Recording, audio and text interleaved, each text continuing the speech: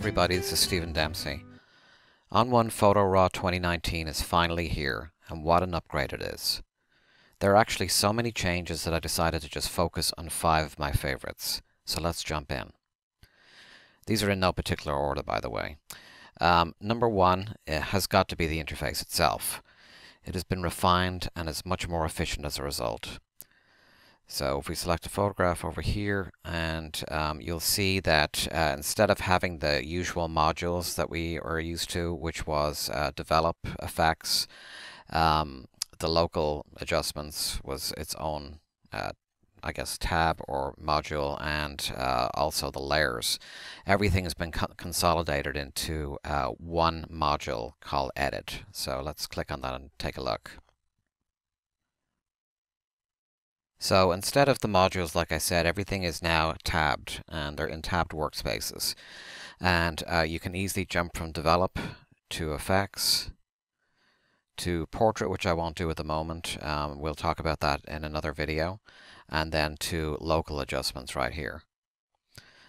Uh, it makes the the uh, the experience of working inside of, of uh, ON1 uh, to be much more efficient, at least for me. Um, one of the other things that I like, if I jump back here to browse, is that each uh, jumping between these workspaces can now be done via keyboard shortcuts. And if you go up to File, you can see the associated keyboard shortcuts for each of these workspaces. So Develop is D, Edit is S, uh, Portrait is I, Edit is uh, Local is A, and then um, Resize is Y. Now, uh, the obvious thing is that it would have been nice to have letters directly um, correlate with the actual name of the tabs, like uh, E for effects, P for portrait. I'm sure there's plenty of reasons why that is not the case. I'm sure that they function for other shortcuts or uh, other functionality within the program. So it's no big deal. You can get used to them pretty fast. But it definitely makes um, going from one space to another to be a lot easier.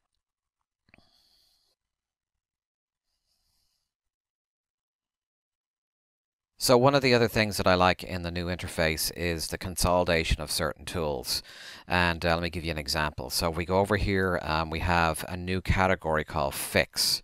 And if I click on that, you can see that there's a, um, a list of different uh, tools within that category up here. And uh, they used to be on this bar here on the left, but now everything is, uh, is a little bit neater, I think. So uh, this is the uh, perfect eraser here, the retouch brush, and the clone stamp that everyone's used to. Uh, the cool thing about this is if you're, if you're inclined to use um, the perfect eraser, for instance, um, the the next time you go to this tool, it'll show that particular icon and you'll be working in it right away when you click over here. If you use the stamp tool, um, you can click on that and then you can see that the icon changes over here. And the next time you go to that tool, the stamp tool will still be there. So it tends to stay on, it, it will stay on the last tool that you use. And if you use one tool, then you don't even have to worry about going up here, but that's a nice touch. Um, the same thing uh, in terms of just consolidating into one category is mask um, where before we had the masking brush right here and we had the masking bug and again it all resided here which was getting pretty lengthy.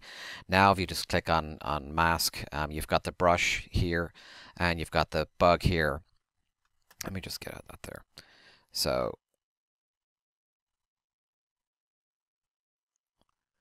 And the cool thing about this is, again, if you are using the bug, uh, that will be the icon right there. And the next time you go to the mask, it'll be the bug. If you use that, if you're using the brush, it'll be the brush. So you don't always have to go up here if the tool that's that you use last is the one that you want to use again. So um, just some cool consolidation that I really like.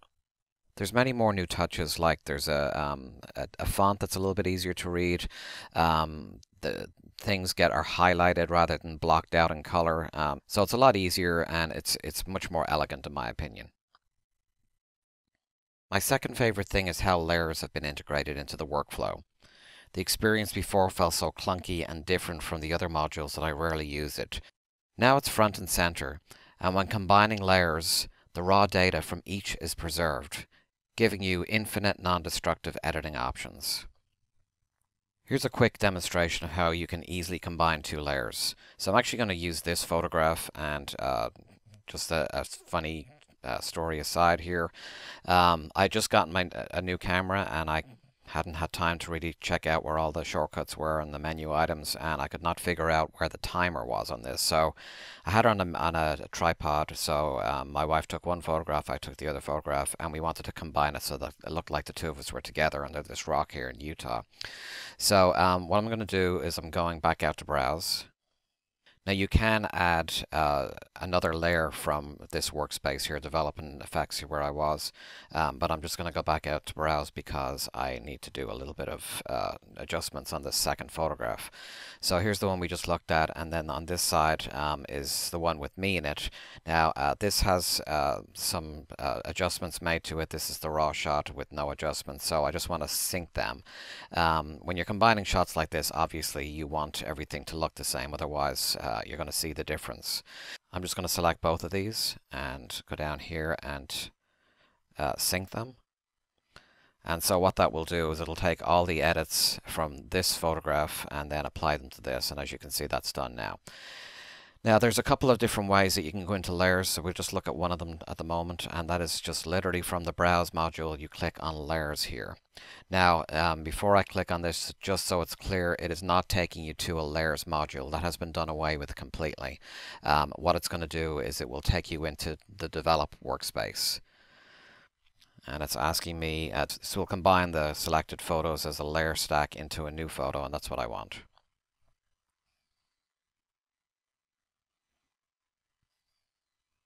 Okay, and there we have the two layers stacked together over here. So this, so, oops.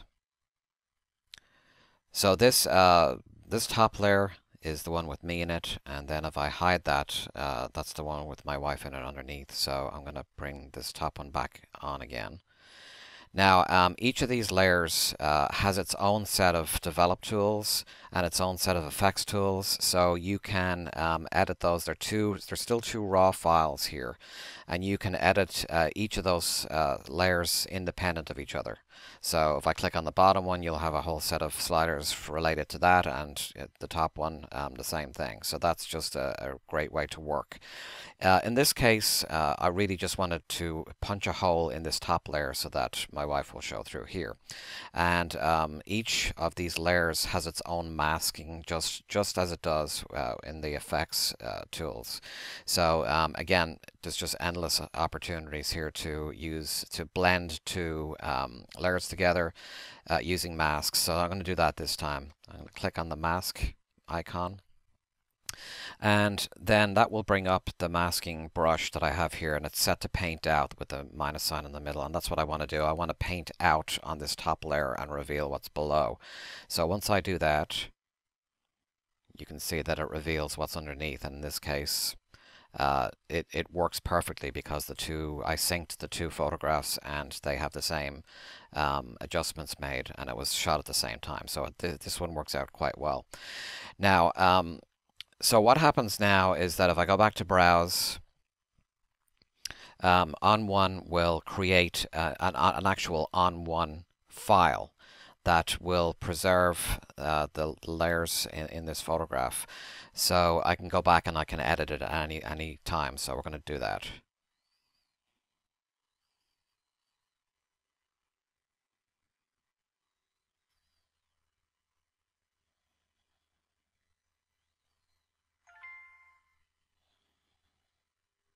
And now we can see there's a photograph over here um, with the extension on photo.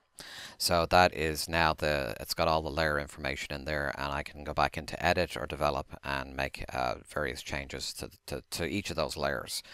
Um, you can also merge the two layers that I used, uh, or three or four, however many you're working with, into a flattened file, and then you, which actually still maintains all the raw information. So you can still bring that back into uh, develop or um, effects to uh, add more adjustments to that. So it's just a it's a great way to work. There's infinite possibilities with layers and I've only shown you a, a tiny example but I just wanted to give you an idea as to how easy it is to work with.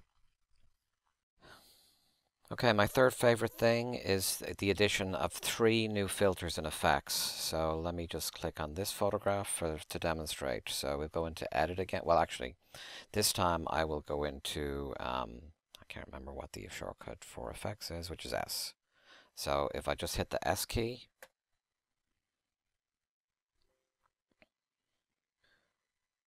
that will take me straight into effects. So um, let's go to add filter. Now, not only are there three new uh, filters in the effects uh, workspace, but there's also a new way of browsing. And um, basically, when you mouse over each of these different uh, filters, it'll give you a kind of a split screen of before and after um, to show you what kind of effect they're going to have on a photograph. Now they can't, it's not set up to do it on your photograph in this case for the previews. That may be something in the future, but uh, at least it gives you a good idea as to what to expect. Now, one of the new effects is cur or one of the new filters is curves. And although that's not new per se, it's new in, in the effects um, uh, tab. And the reason why this is significant is that before when you applied curves, it was a, a global um, effect for your uh, for your photograph. You couldn't adjust where you, you place that particular effect. Once it becomes a filter in effects, that means you can use masks and that means that you can selectively apply it. So let me give you an example of that. So if I just do a little bit of adjustment on this photograph, and say I just want to affect the lower half with the road. Um, now I've made that adjustment. Before in develop, you were stuck with that, but you couldn't selectively change that. Um, so now if I go to the mask and I go up here to the masking bug and click about here, now we can see that uh, all that's being affected is the uh, the road area and the sky is not affected. So it's pretty subtle. I can actually make it a little bit more exaggerated there, just like that. And maybe bring up the light a tiny bit here. Just want to make the light kind of look dramatic. So that's number one. Um, the second uh, filter that I, I uh, really love having is the um, it's the color adjustment. Now we used to have a, or we still do have a color enhancer, and part of the color enhancer um, is actually um, the color adjustment. The lower half of the effects on the color enhancer have now been um, ported over to uh, the color adjustment. Now it's still inside the enhancer. That's just want to make sure that's clear, but they've just made a simplified version of it in the adjustment, which I it's a lot easier to work with. So if I click on this here uh, you'll see that basically what we can do is we can adjust the range, meaning the uh, amount of that particular color um, inside the photograph, the hue, the saturation, brightness of any of these colors here. And I'm going to choose the green um, because there's a lot of grass in this shot. So I'm going to um, expand the range so that it, it gets all the different shades of green and we'll pump up the uh, saturation here and we'll also pump up the brightness just so you can get an idea of how that's being affected. Now this is before and after so you can see that it's pretty dramatic and it's only affecting the green so that's pretty cool. So the third and final new filter is the uh, film grain and I just love this because it gives a kind of an organic feel to your photograph. Now in order to see this effect you really need to bring it up to 100% in the view because the grains um, and the density of the grains is going to be something you won't see in a smaller preview. So uh, you have different uh, levels of grain that you can add and I like the uh, Ilford XP2 Super 400 and you can the amount will definitely make it denser or at least it'll make it more obvious and you can make it more subtle as you go down in the amount and then the size the larger the size the the more grain you've got basically. And you can make it more subtle by going down the size. So I'll just leave it like about there. So that's when you look at it from the preview standpoint you're not necessarily going to see the exact effect it's having which is why I recommend that you do that at 100% uh, so uh, number four uh, for me in terms of my favorite changes is uh, the local adjustment panel. So if I click on that over here and it is working directly with the raw information, um, meaning that you will be able to um, uh, preserve more of the highlights and shadows in your adjustments and you can target them because you can mask this stuff and so it's really uh, it's really fabulous actually so um, if I just let's say I'm going to show you a little demonstration and go up here and do the local gradient here. Click it about here. And so everything above the road is being affected here. So I can bring the whites up. Just watching my just watching my histogram here. And bring down some blacks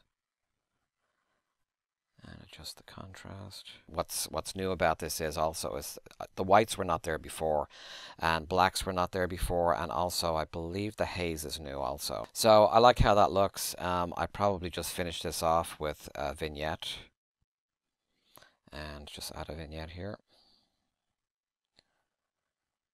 And I'll go for the strong and that's definitely a little bit much so I'll go to my masking brush and I want to bring this down to about 65 or so. Go to the bug. And what I'm doing here is I'm just taking some of the the uh, the intensity of the vignette from the bottom of the photograph. Now um, I'll have to switch it here because it's it's applied it the wrong way. So I just hit invert here. And so what that does is it just takes some of the intensity off because I've got it at 65% there.